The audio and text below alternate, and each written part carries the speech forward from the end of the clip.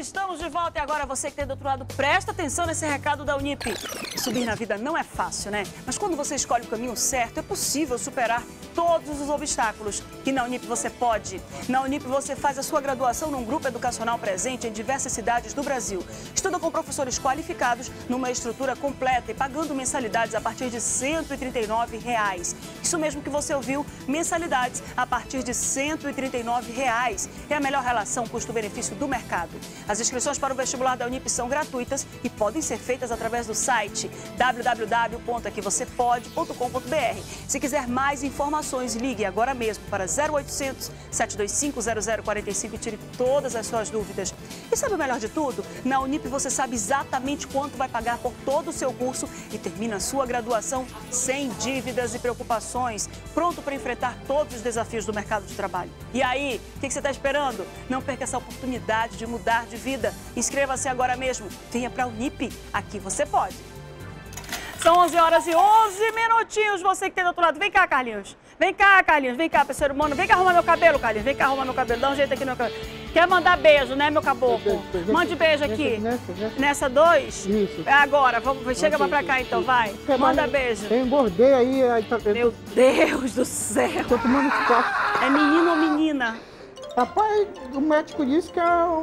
Tu foi no obstetra? Rapaz, Meu pai é o Smile! É o Smile, aquele boneco amarelinho. Uma ameaça é o foi Smile fazendo assim, ó. Tá, tá. Foi uma menina que foi detectada. É uma menina. Uma Não, ameaça. É, Vai, manda um beijo. esse- eu- toda vez que eu passo ali no Boulevard, depois do Bradesco ali, Ah. né?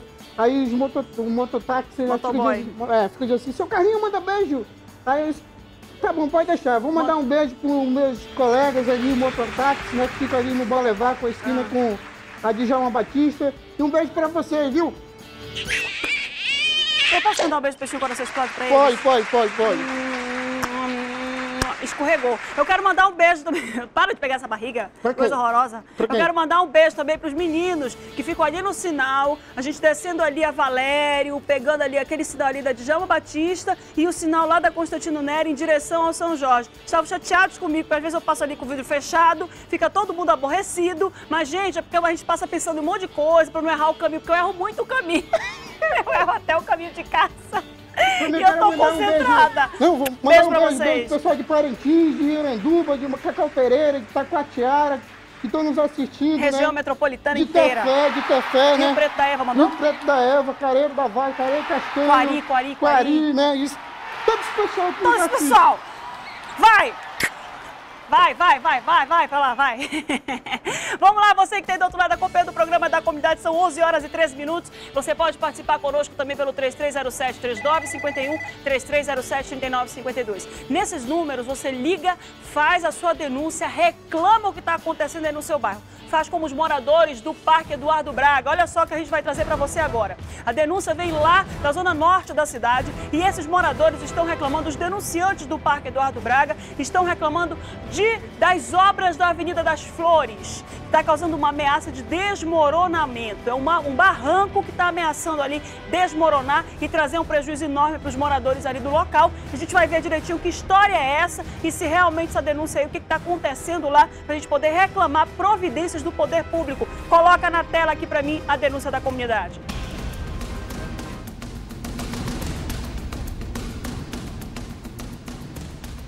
Há sete meses, os moradores desta rua no Parque Eduardo Braga, na Zona Norte, convivem com um barranco que está prestes a desabar. O problema teria começado com as obras da Avenida das Flores. Há um tempo, mais ou menos três anos, né, da construção dessa avenida, nós temos tido muitos problemas, muitos problemas mesmo. Quanto à chuva, quanto à Rua 7 aqui, se vocês forem verificar aí, ó, como é que está, está caindo o barranco e está prejudicando nossos vizinhos aí, entende? Então não é só culpa da chuva, né? Culpa das autoridades em primeiro lugar. As autoridades têm muito, muito mesmo a desejar aqui, porque nós esperamos por eles né? na época da eleição, eles aparecem aqui. Quando está assim, ó, dessa forma não aparece ninguém. Nós temos que se manifestar, né, para a gente ver o que a gente pode fazer. A casa fica bem de esquina com o barranco e corre o risco de desabar a qualquer momento. O medo aumentou com a chegada do período das chuvas. A Etan veio e botou essas pedras. Bom, ela fez a parte dela. Mas botou as pedras e não escorou. A água começou a levar um pouquinho, foi levando um pouquinho e o poste está para cair novamente. O buraco está crescendo. O carro do lixo tá para parar de passar aqui. E se parar de passar, pronto, isso aqui vai ficar uma calamidade.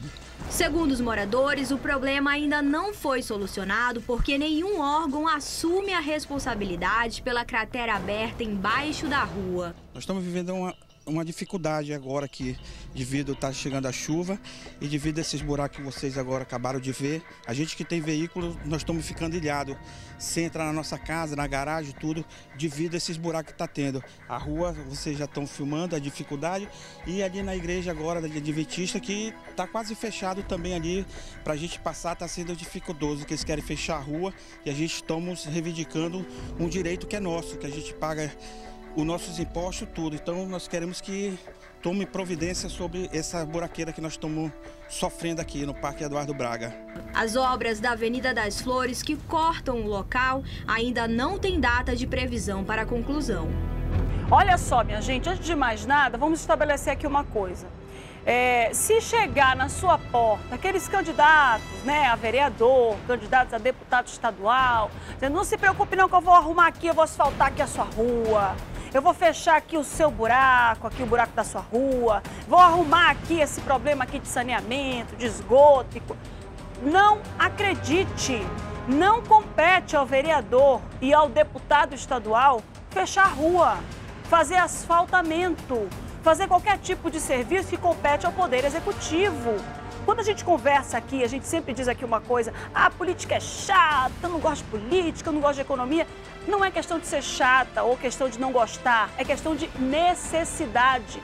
Tem que se saber o que, o que é, o que significa e a quem compete o quê. Para você que está aí do outro lado não ser enganado.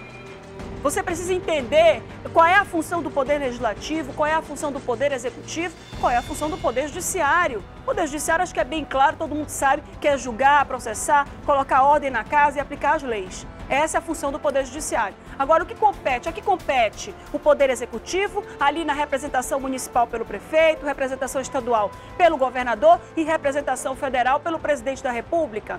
O que compete o Poder Legislativo no município, os vereadores, no Estado, os deputados estaduais e na Federação, na União, os deputados federais e os senadores da República. Aqui compete o quê? É importante você saber disso para na hora que aparecer ali o caboclo fazendo ali aquele discurso, aquele discurso que nem ele entende direito o que ele está dizendo, você entender, não, meu senhor, peraí, não vem para cá me fazer promessa que você não vai cumprir porque não lhe compete fazer esse tipo de promessa. É pior ainda, é pior você prometer uma coisa que não é da sua alçada.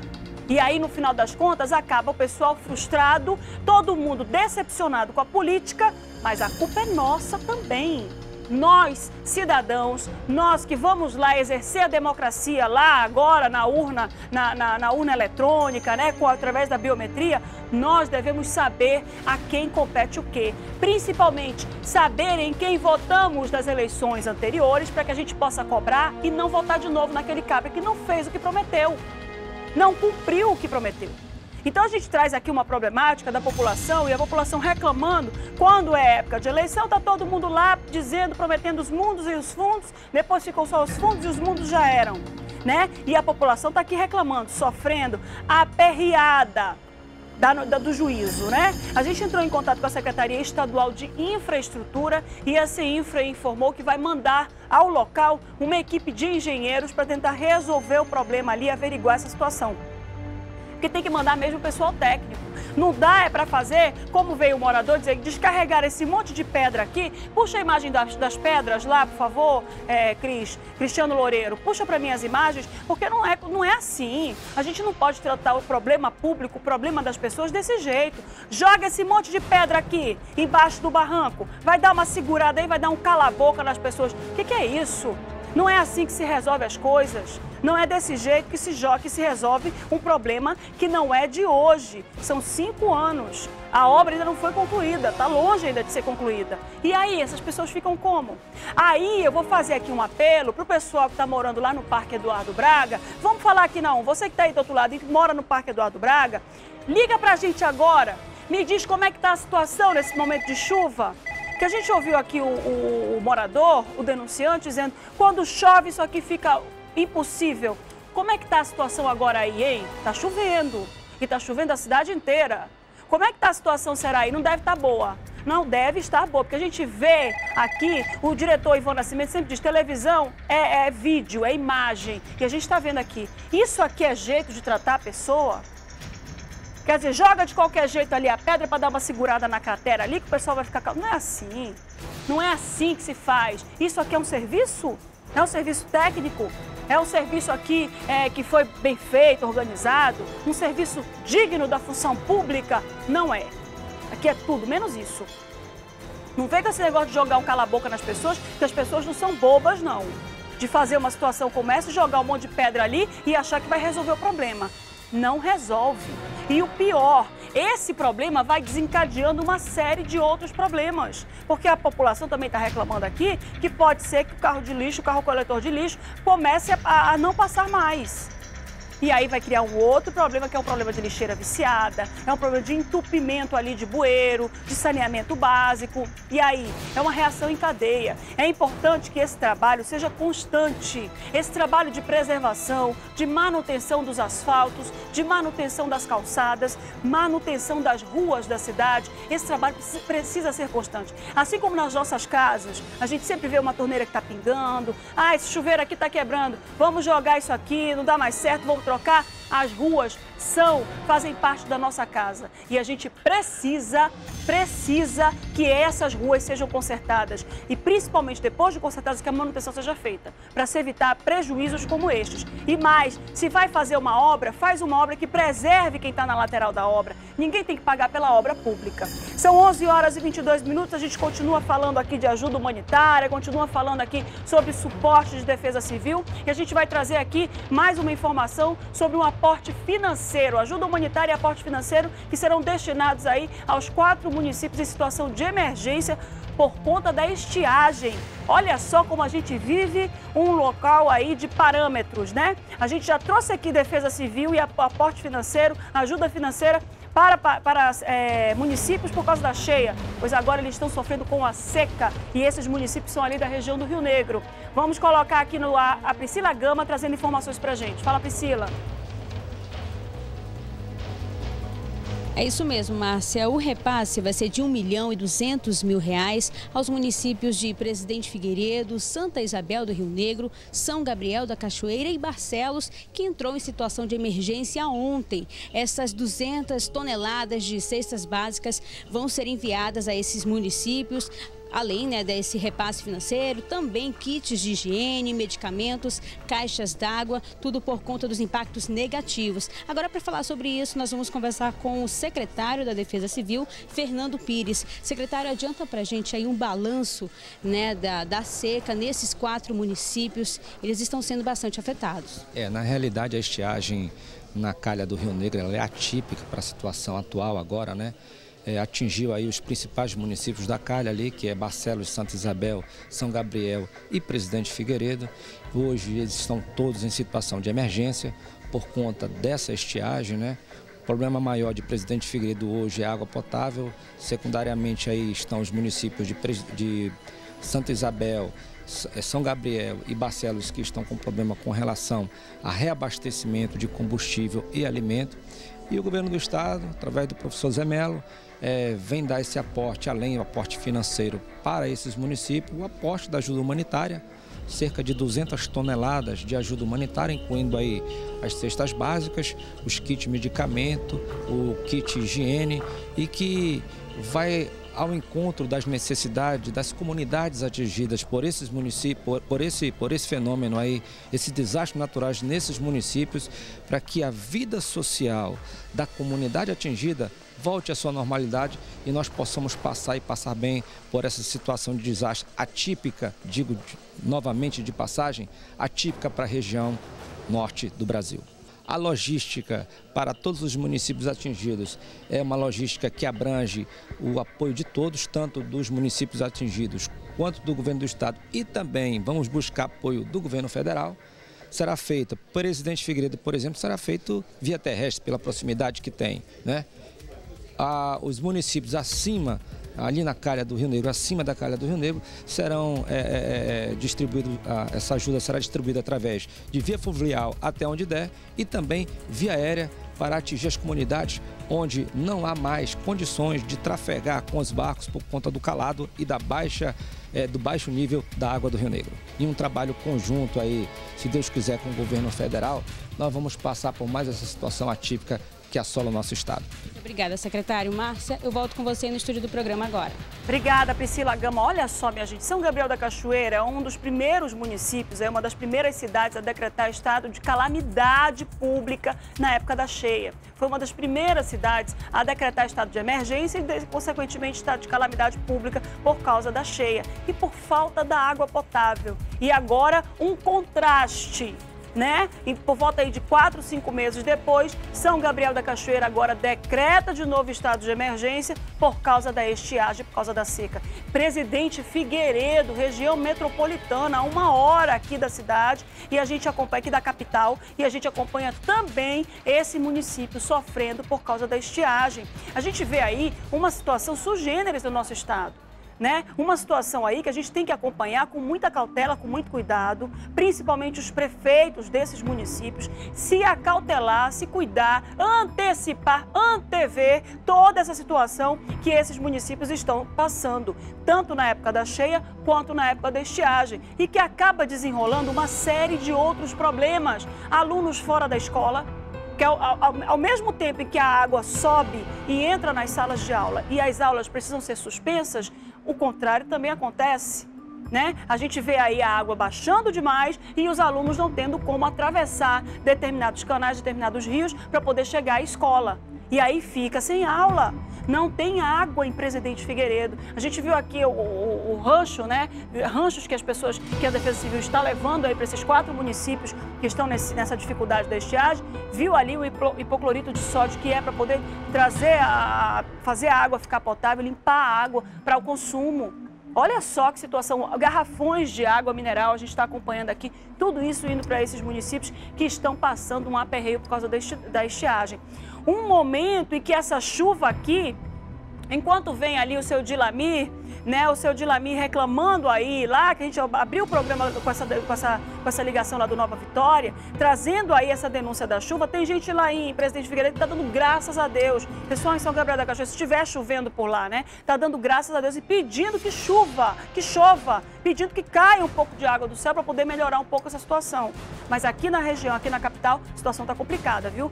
Segundo a Defesa Civil, já foram três é, notícias, né, três reclamações aí, três notificações e ainda está chovendo muito e chovendo na zona oeste da cidade. É o maior índice de chuva que está tendo nesse exato momento. E a gente está recebendo ligação lá da zona centro-sul de Petrópolis, aqui no programa da comunidade. A gente para o que está fazendo para poder falar com você que tem do outro lado. E a gente vai ouvir agora a denúncia do telespectador. Alô?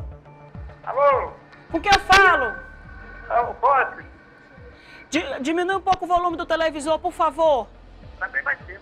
É Cosme. Rodney. Cosme. Roger. Cosme. Ixi Maria. Diz aí, diretor, o nome que eu não ouvi ainda. É Cosme. É isso mesmo. Cosme. Meu Deus, tá difícil hoje o ser humano para entender. Pior que ninguém tá entendendo. Normalmente o pessoal entende e me ajuda, mas hoje ninguém tá entendendo. Cosme, tá falando de Petrópolis. Qual é a denúncia, Cosme? A chuva é? É muita chuva aqui no final da rua 1.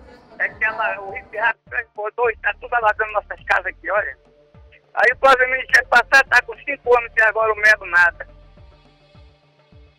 Aí estamos esperando, né, o Cosme Olha depois a gente, o, o está feito, mas aí água, muita água está embora. Entendeu? Aí tem que... Cosme está reclamando de infraestrutura lá no Petrópolis, não é isso, Cosme? Isso mesmo. Ok, Cosme. Qual é a região ali do Petrópolis que tu mora, Cosme? É Rua 1, no final da Rua 1, do Ipirap, Petrópolis. Rua 1, né? É. Tu tá reclamando do Olha, o, a, a, denúncia do Cosme aqui lá do Petrópolis é que o hip rap transbordou e tá alagando tudo. É isso, Cosme? É isso mesmo. Olha só a complicação e tá, tá chovendo aí, né? Tá chovendo muito aí, diminuiu um pouco a chuva e já tá muito oh. forte. Tá muito forte a chuva aqui. É tá. que o Melo prometeu de para esse ano agora o terminar o hip rap de hospital aqui para fazer a rua, não tem agora nada.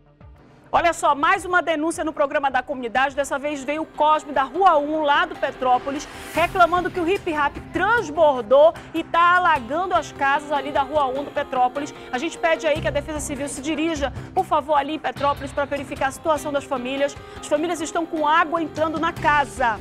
Olha só que situação, que problema que é isso, né? Isso é problema de infraestrutura, minha gente. É problema de falta de escoamento de água. A gente vê o problema do saneamento básico nessas horas. Quando a gente reclama aqui de bueiro, quando a gente reclama de bueiro destampado, bueiro entupido, ninguém sente essa dificuldade com, com o chão seco. Ninguém sente essa dificuldade sem chuva caindo do céu. Mas cai uma chuva para tu ver. Cai uma chuva para ver o aperreio que é, água entrando na casa, você tendo que levantar móveis. Móvel que dá tempo, que não dá tempo, estraga mesmo, porque a água é implacável, acaba com os pés dos móveis, acaba com o pé do sofá, acaba com o pé do, do, do, do guarda-roupa roupa, acaba com tudo. E a gente está trazendo a denúncia do Cosme, nesse momento reclamando aí por causa dessa dificuldade que essas chuvas todas estão trazendo para o município, para, o bairro de Petrópolis, lá na Rua 1. E não é só isso não, o pessoal aqui da Zona Oeste também está reclamando, o pessoal da Zona Norte já ligou para cá e o maior, a maior quantidade de chuva é na Zona Leste, é isso, né, diretor? Maior quantidade de chuva é na Zona Leste ou Zona Oeste? Eu falei Zona Oeste agora, mas eu tive a impressão que alguém me disse aqui que era Zona Leste, mas está chovendo na cidade toda. Então, é um aperreio só. E você que está aí do outro lado pode continuar ligando e participando conosco, que a gente para o que está fazendo para poder trazer a informação para você. Principalmente, mande sua foto, mande seu vídeo pelo nosso WhatsApp 991537959, que a gente está aqui para poder receber a sua denúncia e fazer logo a reclamação para a Defesa Civil. Até agora, três ocorrências. Vou contar a quarta com o Cosme lá de Petrópolis, que está no aperreio lá, viu? São 11 horas e 31 minutos. Daqui a pouquinho, nessa edição do programa da comunidade, a gente vai trazer o homem que foi preso com 10 quilos de droga. 10 quilos de droga. Está aqui o caboclo. Tu olha assim, não dá nada por ele, mas ele é traficante barra pesada, viu, minha gente? Tá aí, olha, a droga. 10 quilos, que a gente vai trazer ainda nessa edição do programa da comunidade. Já já. Não saia daí, a gente vai para um rápido intervalo e volta daqui a pouquinho.